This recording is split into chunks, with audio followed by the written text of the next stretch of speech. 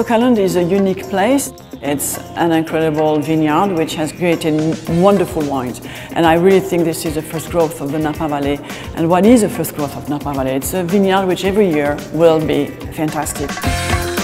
My name is uh, Geneviève Janssens. I am Director of Winemaking at Robert Mondavi Winery. And the winery is located in the center of the valley in Oakville.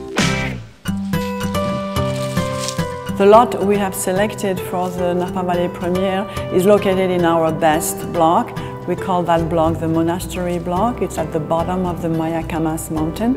We have the power and the tannin of the To Kalon vineyard and the Cabernet Sauvignon, but we added a little bit of Petit Verdot, Merlot and Malbec to charm it, to make it so supple and so uh, silky, rounded, then it's very, very nice. And it's a wonderful blend of Cabernet Sauvignon, 85%. I think our, the collector who is going to buy that wine will be extremely happy. It's a great opportunity for a winery to showcase the best.